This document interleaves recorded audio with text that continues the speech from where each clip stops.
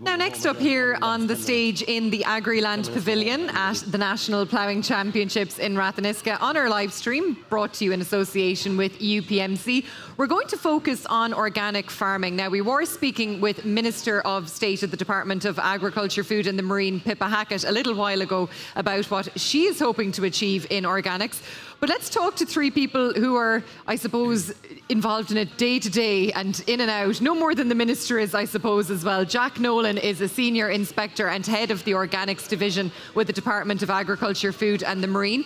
Beside him is Grace Maher. Grace is the development officer with the Irish Organic Association. And on the stool is Kevin O'Hanlon. And Kevin is an organic farmer based in Carlow and Wexford. We'll hear a little bit more about two enterprises there, uh, but all organic as well, Kevin, and your journey uh, on conversion as well with that. But Jack, can I start with yourself? Because under the Climate Action Plan, a target of 450,000 hectares by 2030, which will bring us up to 10% of agricultural land being farmed organically. Now, the minister told me just a little while ago she's quite confident. She said the current figures with the, the latest additions to the farming uh, organic farming scheme will bring it up to somewhere around 4%. Is it a big ask or do you think we're on the right path? I, think we'll exceed it. We're at 180,000 hectares at the minute. A couple of years ago, we were at 74,000. There's never been such support available for organic farmers. And I don't just mean money. Like, if you look at the number of Teagasc advisors, the number of private advisors, uh, people like Grace, the Organic Trust, the Irish Organic Association, there's much more understanding of organics and awareness of it. And Bord Bia are going to launch a marketing campaign later on in the year to show people what is what is organic all about, to show consumers, because we need people in the marketplace to start spending their money. Like if you look at the Citizens Assembly on biodiversity, they said that we want more organic farmers in Ireland. Well, now is the opportunity for them to go out and buy our Irish organic produce. So I think it's very achievable. Yeah. And do you think that uh, there is a perception sometimes organic, it's more expensive, it's a bit of a luxury? Is that something we need to tackle as well with consumers? Well, I suppose first off, we waste about a third of the food we produce between the field and the fork. So, like 10% of greenhouse gases in the world come from wasted food. Like, if we sorted out what we're eating, there'd be no issue with organics. And to a farmer, for any farmer listening in, farmers get about 10% of a premium, say, for beef or sheep, or a little bit with it. Like when someone goes into the shop, if they could buy directly from the farmer and cut out the retailer altogether, like the shops need to look at how much of a markup they're taking on organics, I think because it is something that people want. Like we have an organic village down on row 16. If anyone would like to come down to it, we had one for the first year last year. It's double the size this year, and there's a tremendous flow of people coming in to find out about organics. But I think there's a huge appetite out there for it yeah. among consumers. But I suppose that's reflected in the over 2,000 farmers who, who joined the organic farming scheme when it was opened most recently farmers are very, very interested, and a lot of farmers out there probably don't have a whole pile to do to, to convert as well. There's a huge amount of farmers that need more knowledge about organics. I'd say that's the biggest thing that they didn't understand it and they weren't being supported as they switched over to organic farming. I think that support is available now, and what you'd say to people is look, come and get information and then make up your mind. Don't be listening to someone up the road that's saying, oh, if you go organic, you have to do this, you have to do that. What we're finding now is that people are coming to, there's about 50 organic farm walks this year. Come and talk to a farmer, talk to someone like Kevin, who's a practitioner, ask him how does he deal with the housing, what's the situation as regards dosing cattle or sheep and so on and make a decision for yourself because for an awful lot of farmers, they're much better off if they come to organics, but they'll also be under a lot of pressure, under a lot less pressure, because farmers are one of the most stressed out occupations that we have. They suffer from very poor mental and physical health, and they're not getting proper financial rewards for it. So you need to change something. Like we just had a very bad harvest. For people looking into next year, beef prices are coming up a little bit. We've had a bad year for sheep. What are you going to do different next year? Are you going to hope that the market's going to pay you better? Or are you going to take action? And going organic is taking action and taking control of your farm away from a retailer, away from a salesperson that's selling you expensive inputs and you're not getting paid for your product at the end of the day. And Grace, is that where we're trying to move organics from being less of a niche kind of an enterprise into more mainstream and, and something that's more accepted and, and, and not, you know, people maybe having kind of false preconceptions about the, the, the whole thing? Absolutely, Aisling. I mean, yes, in Ireland it probably would have been perceived as niche, particularly when we were had 1%, 2% of farmers organic. But now we're on the right trajectory, we're 4%, and really we need to mirror what's been done at European level, where it's not a niche market, you know. And I mean, the European market has been in double digit growth for the last decade, and Ireland is starting to grow in parallel with that. And there is a demand for product that is produced in Ireland. I mean, our European neighbours want Irish organic products. So, absolutely, we need to move away from the niche. Um, consumers want organic food, they want Irish, local organic produce, and really, I mean, farmers have the ability to give that to them with some support. And the Irish Organic Association welcomes the public support for the sector, you know, to enable it to grow because it does need support. It's at its infancy in Ireland, um, but certainly when we look at the European model that's out there, absolutely Ireland can be operating on that level of production because, because Irish consumers want Irish organic product. Yeah, and uh, I mean the over 2,000 farmers who joined the, the OFS, you know, in recent times, Grace your organisation would have been dealing with a lot of queries, I would imagine, and questions on, on a one to one basis because, as Jack alluded to, everybody's farm is, is different. You know, just because I'm on this side of the ditch doesn't mean I'm the same as your farm. Yeah, absolutely. And I mean, that's what the certification bodies are there for. You know, our, our inspectors are out on the ground every day, they're meeting organic farmers. And, you know, we are there to help people as well on, on that process because we want to see more farmers coming into the sector because we do believe that there's huge opportunities for farmers coming in. But absolutely, you know, I mean, if you have any queries about certification, as Jack said, pop down to the Organic Village. We're there and we're very happy to talk to farmers who are considering organic. But as you say, I mean, predominantly last year with, the, with farmers who came in was predominantly, you know, beef and sheep. But certainly there's opportunities in dairy and tillage and horticulture. And yeah, we'd love to see more farmers coming in. And we're delighted to have kind of the, the organic farming scheme open and on an annual basis. It's really welcomed by the sector. Yeah, um, Kevin, I'm going to bring yourself in here because I suppose you've done it. yeah, you're, you're, you're on the other side, as they say. So, I mean, just from a background point of view, just to explain to people your own background, because you're you're a farm manager on a dairy farm in Wexford. You also have the home farm in, in Carlow. It's all organic now, I understand. Can you tell us a little bit about your journey and I suppose deciding to go organic and and, and, and how it works for you? Uh, yeah, so the home farm is in South Carlow and um, the work farm is in near New Ross in Wexford, uh, dairy farm. Um, I suppose the decision.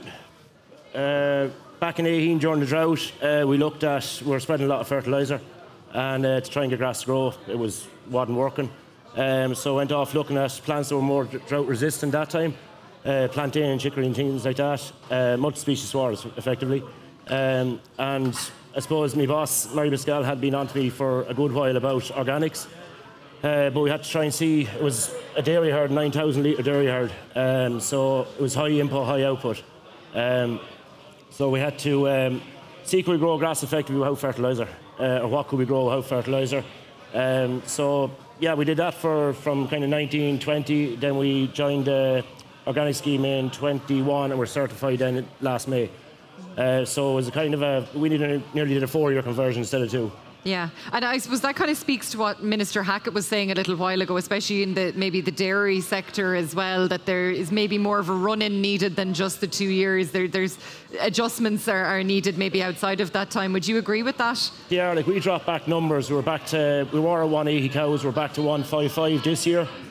Uh, we have 181 in calf for next year. Um, grass is we can't control grass at the moment. It's just getting ahead of us. Um, the, so yeah, we're going back up. Like I know two, no two years are the same, but there's 500 tons of extra feeding in the pit that we actually won't need this winter. Um, so we'll, yeah, it's you do need longer running. You have to, you have to try things. You have to try. Like we went trying things ourselves, and obviously went talking to the IOA, different things as well. Um, but it's it's more or less trial yourself. Like cut back on fertilizer, in clover, in multi-species, stuff like that, and. Yeah as I said, we're going back up in numbers again next year. And a guesstimate, I suppose, like we were talking about fertiliser prices with our tillage panel just a few minutes ago, and you know, how much do you estimate that you might have saved, I suppose, given uh, the fact that fertiliser prices now did get extraordinarily high, but like since you've converted? On a normal year, if we could say it that way, uh, mm-hmm. we were 46,000 a year on fertiliser, but that was on tillage crops as well. Um, so yeah, that's a massive, massive saving. We just use our slurry more strategically now, and we use our um, our dung. Uh, we use a lot of bales. Uh, you can buy conventional straw, so it's the cheapest form of P and K to get in the gate um, in conventional straw. Uh, so the yeah, we're after saving about it was forty six thousand a year being spent on fertilizer. That was before the high prices last year or this year. Like we would have been up 100k last year on fertilizer alone. We would have been spending 100k. My gosh. So, and, and, that puts it into you know stark figures there, doesn't it? You know, Jack. And I'm sure that it mightn't be as big a saving on maybe a smaller dry stock enterprise or something like that, but it, it is a significant saving, isn't it? That's huge. And I think what's important is that there's an awful lot of information that can flow between organic and farmers that are using fertilizer. Like you don't have to be one or the other. Like I mean, if you look at say the likes of clover and multi-species, like Kevin said, like every farmer in Ireland now was thinking about it. Organics is thriving on it and moving forward. Red clover silage, you know, it's been supported by the department, by government. Mm-hmm. So is multi-species, and farmers are looking at it for themselves. So why can't you go organic? Would be the question I'd ask. One big thing every farmer should be doing is taking soil samples. If you don't have the pH, get the lime right. So the soil is going to release nitrogen naturally. So your P is going to be more available. But all these things are happening anyway, whether you're organic or not. So for me, a lot of farmers should go home and see what's the situation with the sheds? Why amn't I organic? Like, what, what is stopping me becoming organic? Because to me, the floodgates are going to open. Like, I can't see there's a 50 billion market in Europe. 125 billion worldwide. We have a fantastic marketing agency in Bord Bia. We just don't produce enough organic product to sell.